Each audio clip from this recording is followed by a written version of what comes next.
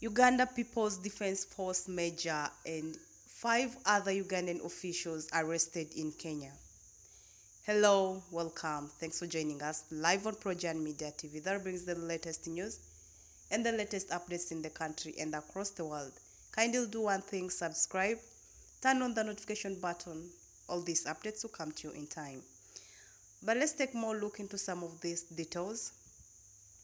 A senior Uganda People's Defense Force officer, three top officials from the Ministry of Agriculture, Animal Industry and Fisheries are among six Ugandans who were last evening arrested by the Kenya security officials at the Busia, Kenya border amid an ongoing fish row between the two countries. The officials include Major Robert Ariho attached to the Fish Protection Unit as Entebbe, at Entebbe, Mr. Paul Okwara, a Principal Secretary Fisheries, Mr. Simon Jonan Imongoti, a Fisheries Inspector at Busia Border, and Mr. Eugene Egesa, the Busia District Fisheries Officer, Mr. John Michael Amodoi, a clearing agent at the Busia border, and one other unidentified official said to be a Uganda People's Defense Force soldier. The six Ugandans were arrested at the office of Kenya Revenue Authority manager after crossing the border as they waited to meet some Kenyan authorities over fish trade. The officials were handcuffed by the Kenyan police and taken out to the customs premises and marched to a waiting police car before they were whisked off to Busia, Kenya police station under unclear circumstances.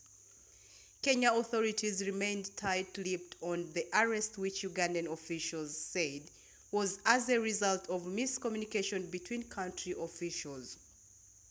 Kindly note that the said officials are not in the police custody. The incident was as a result of miscommunication between country officials, and mm-hmm. this was, however, resolved and the officials allowed to go about their business and the Ministry of Agriculture, Animal Industry and Fisheries tweeted this on Saturday evening in response to their tweet about the officials' arrest. In about crossing the border, the Ugandan officials had been led across the Kenyan border by Miss Florence Atieno, the Kenyan National Cross Border Women Chairperson, to inspect and ascertain the quality of fish in Busia, Kenya market with a view of clearing its export to Democratic Republic of Congo, allegedly on orders of Uganda's Fisheries State Minister Ms. Helen Adoa. They arrived there several hours back and they have been waiting to be cleared by the Kenyan authorities to have a meeting and look at the fish in their market, but everybody they were trying to contact said it is a weekend and Major General Ariho was hard complaining. The meeting between the Ugandan officials and the KRA manager at first appeared cordial as the Ugandan officials requested to have a look at the fish to ascertain its size before clearing it for export.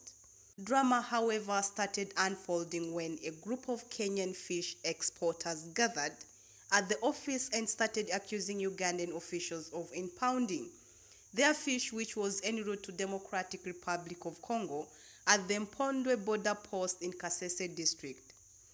Then they claim they say these are the guys who impounded and gave out their fish. They either killed them before leaving there or they returned the fish.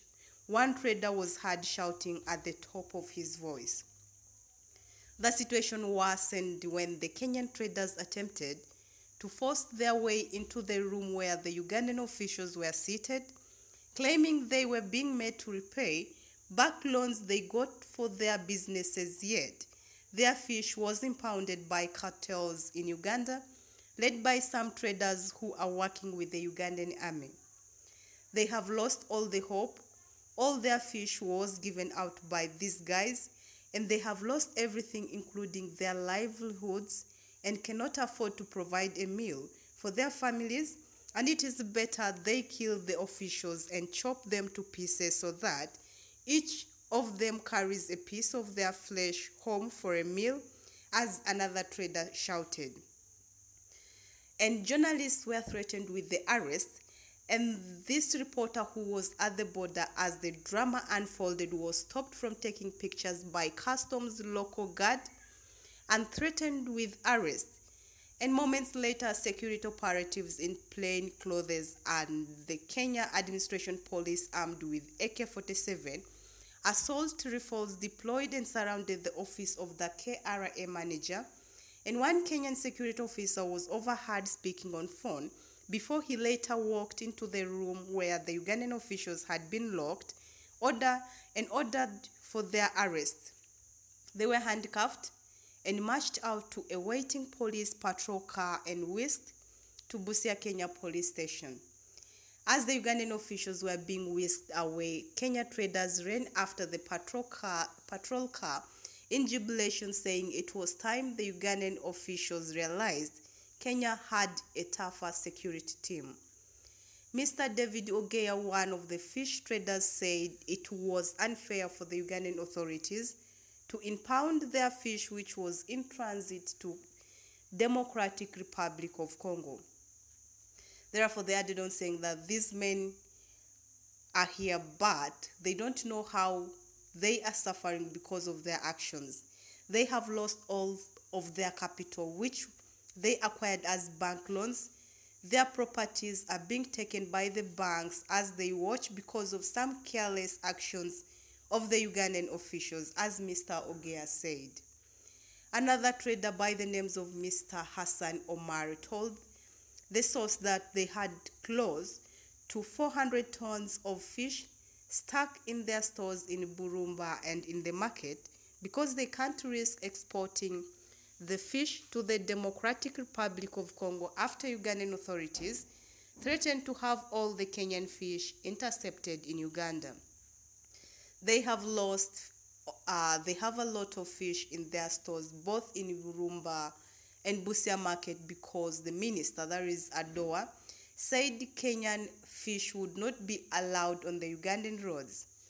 The officials were reportedly released in the evening following the intervention of Busia RDC Mr. John Rex Achila and some border agents Ms. Atieno said the interception of the Kenyan fish, which was on transit to Congo, amounted to a non tariff barrier violation and that it violated international threat, uh, treaties on new goods and transit.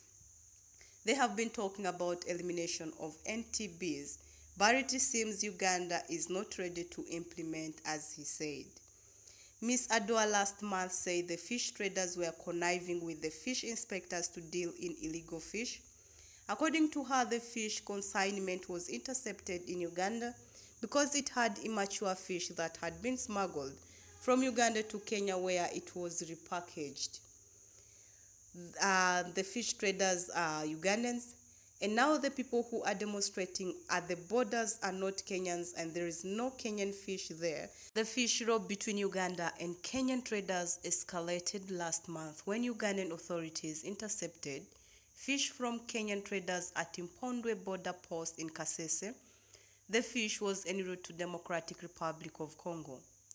Whereas Kenyan, of, uh, Kenyan fish exporters say the fish was from Lake Turkana, and the Ugandan authorities and the Ministry of Fisheries have kept a strong stance claiming the fish was from Lake Kyoga, which had been smuggled through the porous borders into Kenya, processed and repackaged by the Kenyan traders. The seizure of the fish threatens to draw Kampala and Nairobi into another trade row following the former's ban on Ugandan goods in recent years, including milk, sugar, sugarcane, eggs, and most recently maize grains on grounds that they were substandard. Uh, well, that is it for now, and we'll keep on updating with more of this. Just kindly do one thing subscribe, turn on the notification button. All these updates will come to you in time. Once again, thanks for watching Projourn Media TV.